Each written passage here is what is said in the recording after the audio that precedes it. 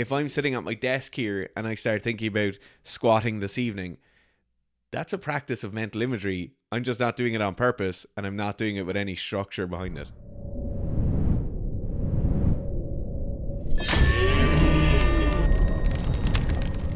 Hi, welcome back to another episode of Sika Psych.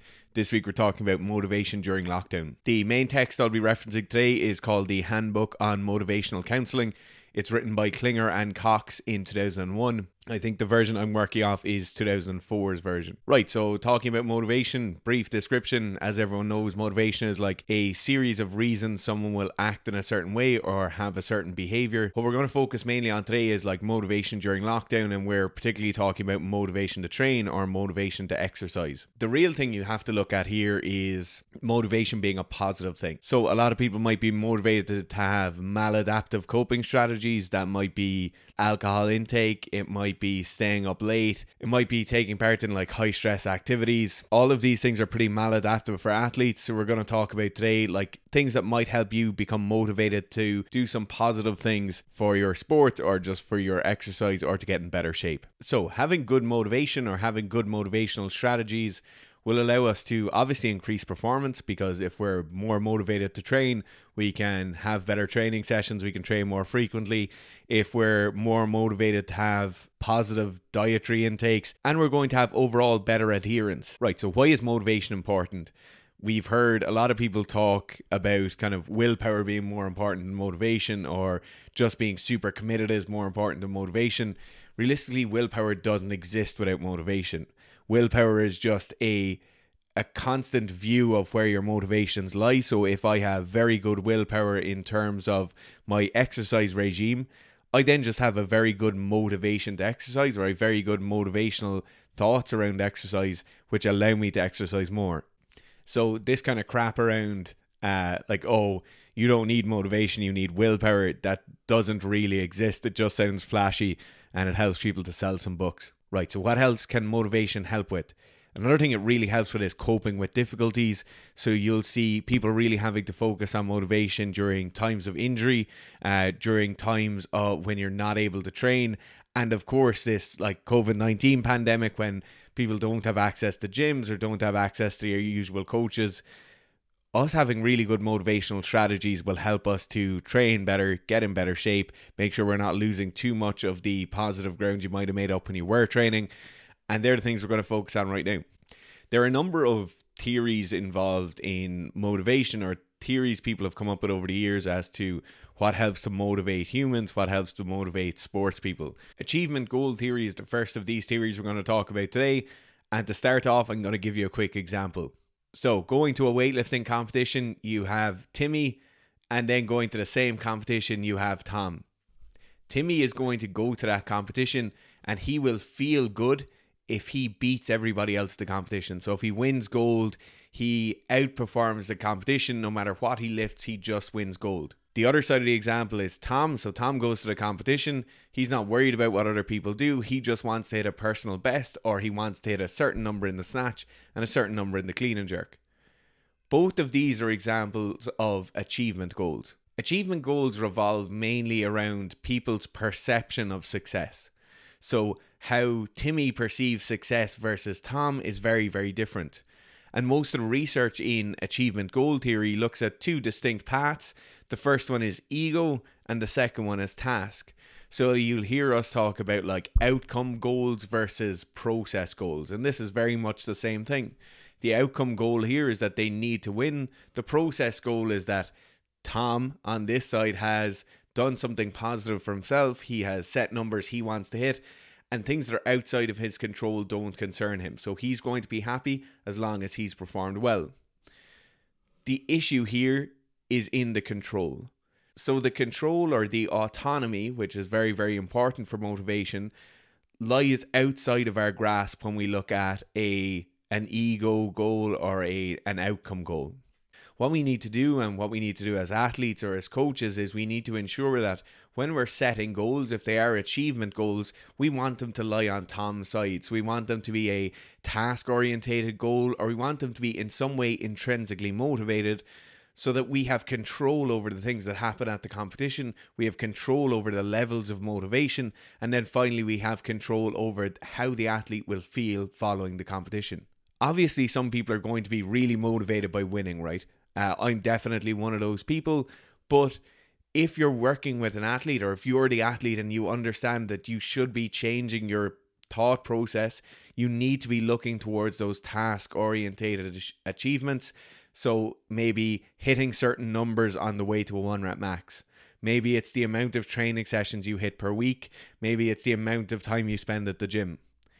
For the case of somebody who's training at home during a lockdown, you need to be focusing on these tasks because you certainly don't have control over the outcome.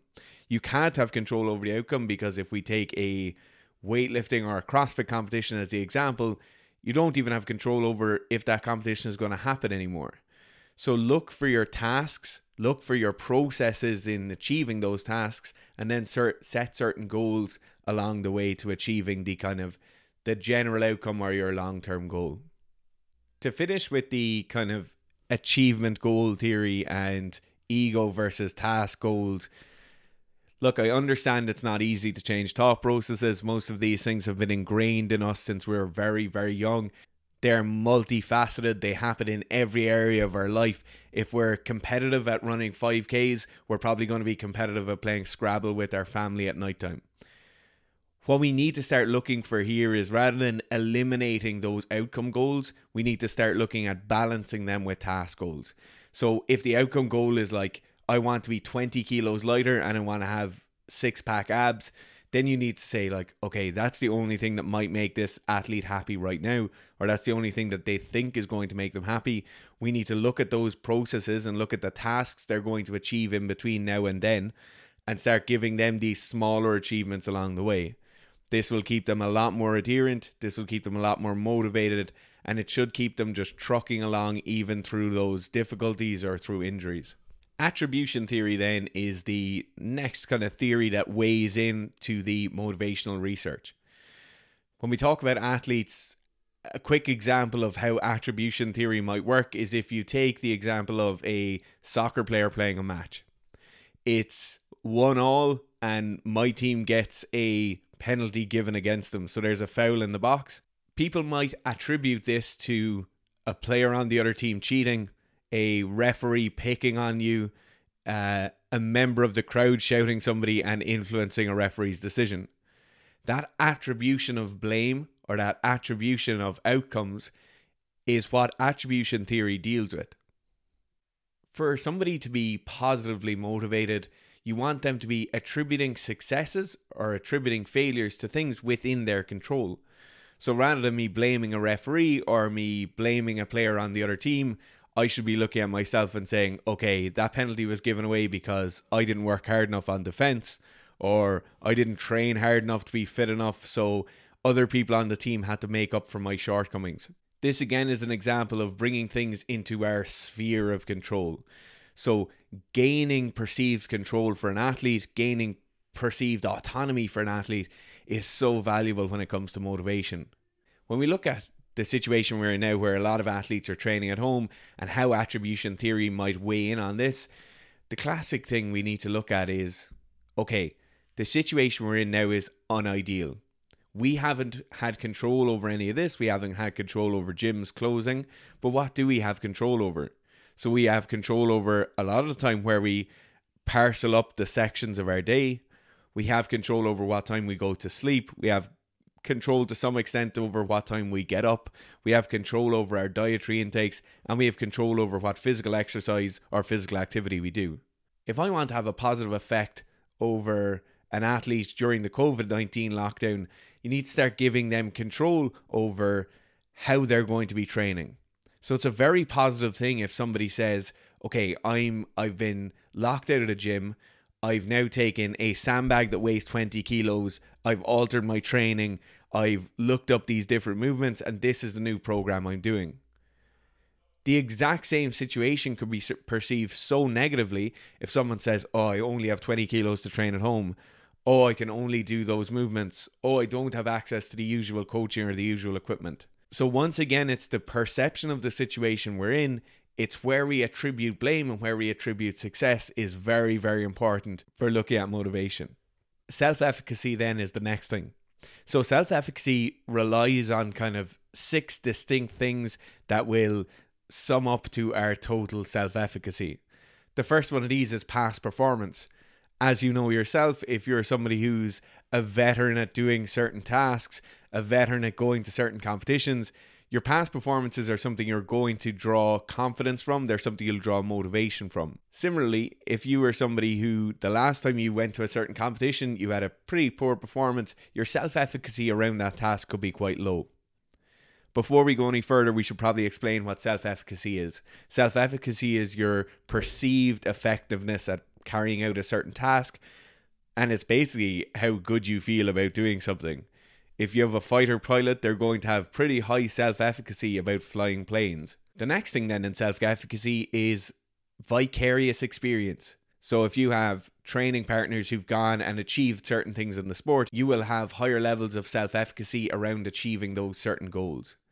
If you know somebody in your family who might have played a certain sport before, you will have higher levels of self efficacy around achieving those things again. The last four then are levels of verbal persuasion, physiological state, emotional state, and imagined experience.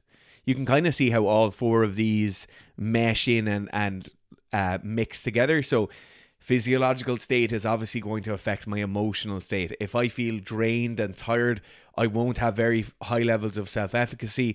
The same way, if I am emotionally drained, I won't have high levels of self efficacy verbal persuasion then is quite an interesting one, right? We've all seen, uh, or you might have gone to like group training class. You might have seen teams training together, or been in a, a member of a squad and you're training in a gym and people are shouting and getting excited.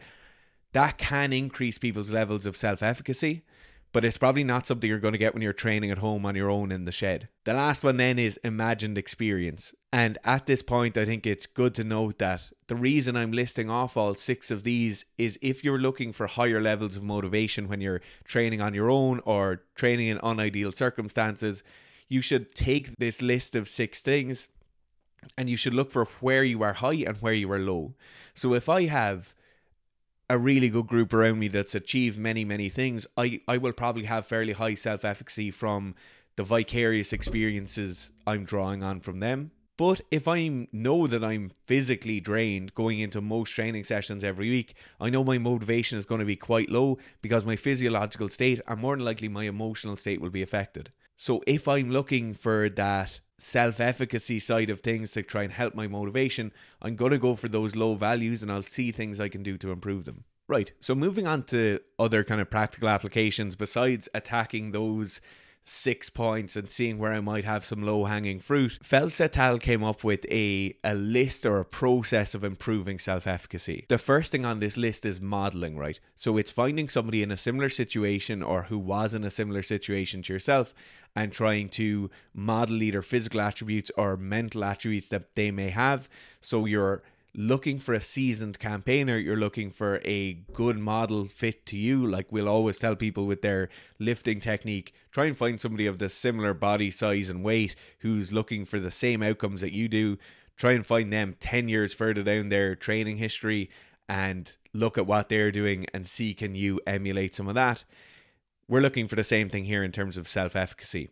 So if I am a an underage rugby player, and I'm looking for higher levels of self efficacy, then I might look to a current professional or a current academy level player and I'll start modeling myself off them. The second one then is relaxing performance standards or alteration of goals. And this is something like when working with athletes and when being an athlete myself, the last thing you ever want to talk about and the last thing you'll ever get an open ear to talking about is relaxing performance standards. I think the wording of this is a small bit off. I think you need to alter goals in a positive direction.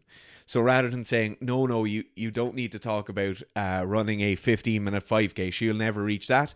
You instead need to talk about, okay, what are the one kilometer times I need to hit? So can I run a three minute 1K? That's a goal. I'm going to set that as a goal. Before I do that, can I run a three minute and 25 second 1K? and I'll keep ticking off these goals. I'll really, really expand that list of goals I'm going to be hitting.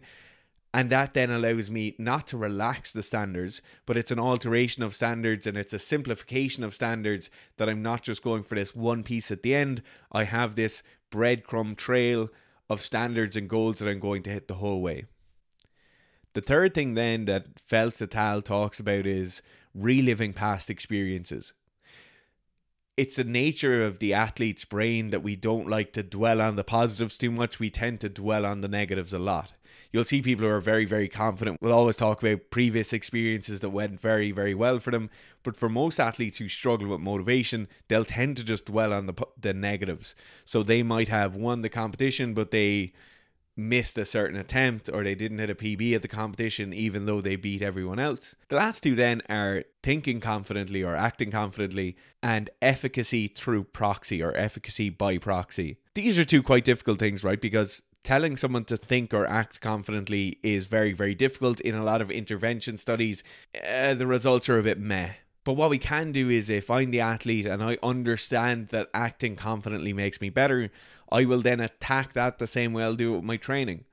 So if I'm training at home and I know it's shitty to be doing 25 minute HIIT classes on a yoga mat in your hall or your kitchen and it might not bring about like a great confident posture or I mightn't feel good like I'll feel in the gym if I'm lifting heavy weights but just bring a certain level of confidence to those movements no matter how ineffective or how shitty they are to do efficacy by proxy then is Similar to what we spoke about earlier, where we spoke about vicarious experience, efficacy through proxy is looking at similar performers in your weight class, in your competition, in your sport, or even not in your sport, and trying to see, like, okay, this is what they were able to achieve. Maybe I'm able to achieve something similar. So if you are a young rugby player who's always struggled to put on size and mass, or you're a young hammer thrower, you might start looking at, okay, other people who are really effective in their roles now, what did they do? What was their experience like when they were growing up and draw motivation from that. Application then is next. And realistically, this is the most important part. We can talk about theories and science all day, uh, but if we can't apply them effectively, then none of that really matters. So, if you're an athlete and you're training at home or you're training alone now and you're struggling for motivation, what are you going to do? I'm just going to propose a few things you can try.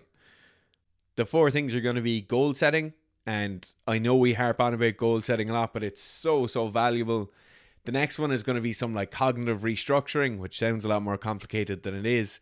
We're then going to have a quick piece on mental imagery, and then the last piece is like an outreach piece. Okay, goal setting. What's important? Everyone's heard of like smart goal setting, so it has to be specific goals, they have to be measurable, they have to be achievable, they have to be realistic, and they have to be timely.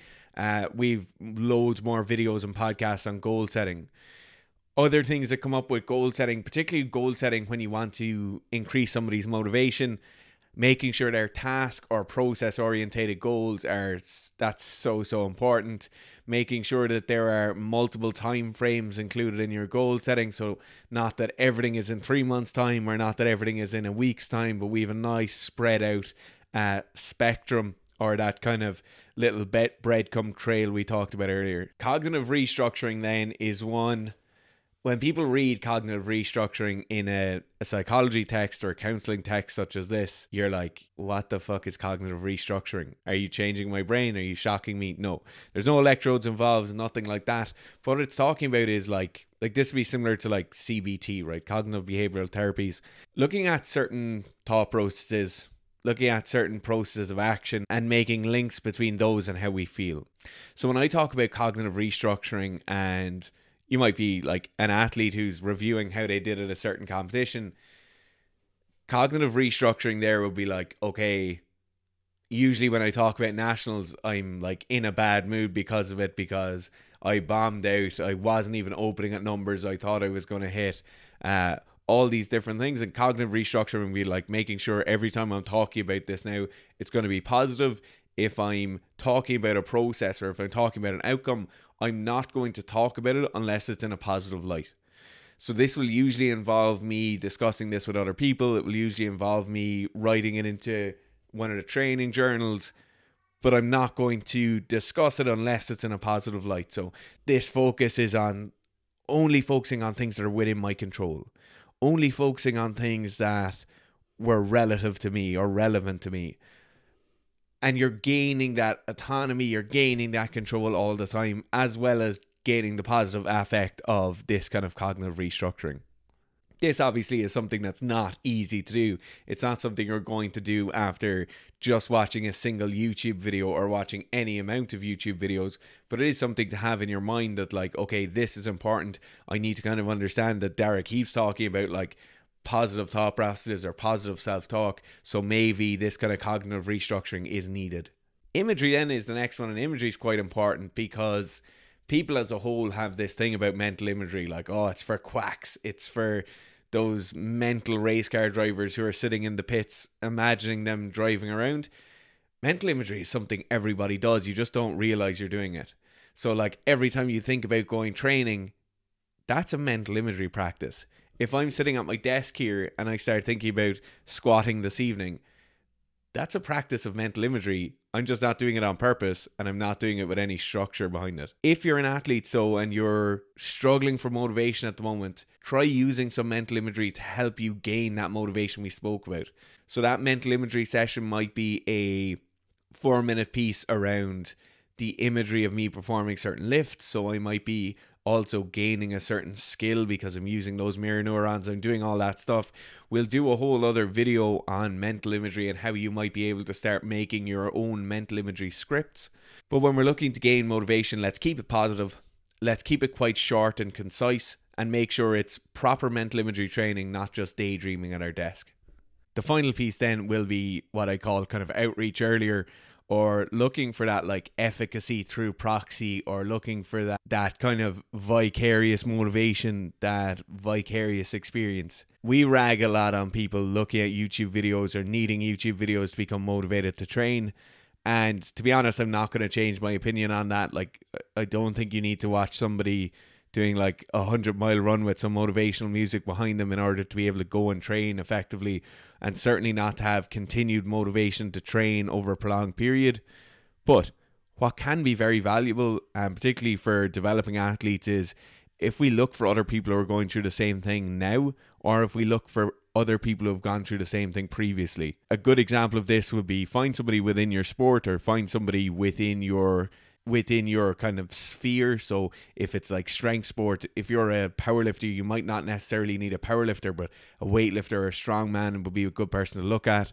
So find somebody with similar kind of parameters to you, who's in a similar situation to you, and then start looking for okay, what did they do? They achieve this. Maybe I'll be able to achieve this.